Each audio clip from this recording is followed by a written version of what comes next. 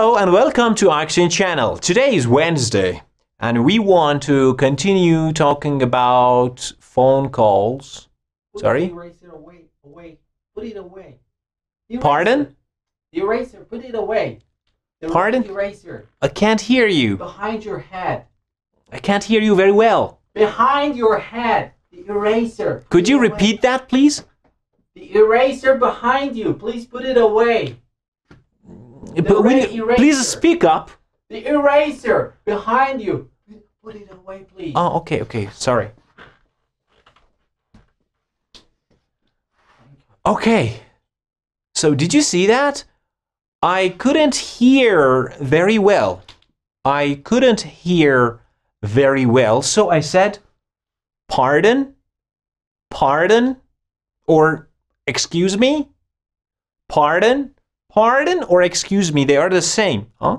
Pardon, excuse me, could you speak up or please speak up? Speak up. It means speak louder. Louder. Speak up. I can't hear you very well. I can't hear. I can't hear you very well. Could you speak up? Could you repeat that, please? Could you repeat that, please? Could you speak up, please? Pardon? Okay, so they are very good English expressions to ask somebody to repeat something because maybe you didn't understand or you didn't hear very well. You can use these expressions in English. Okay? Never say, What? That's very impolite.